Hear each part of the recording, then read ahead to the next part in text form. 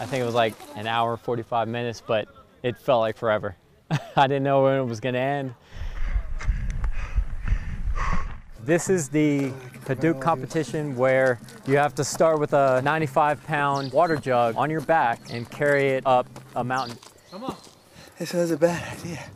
You're just, you're completely out of your element. And there's no formality. It's here's your starting point, make your way up the mountain. From there, we get into our competitions of rock throwing, wrestling, then a festival of food and wine. Showing the local populace that we're going to come out and take part in their traditions. They see it and they really respect it. It creates more and more opportunities for us to work together in the future. It feels that what I just did is worth it. Being a part of their experience, I'll definitely cherish and remember that.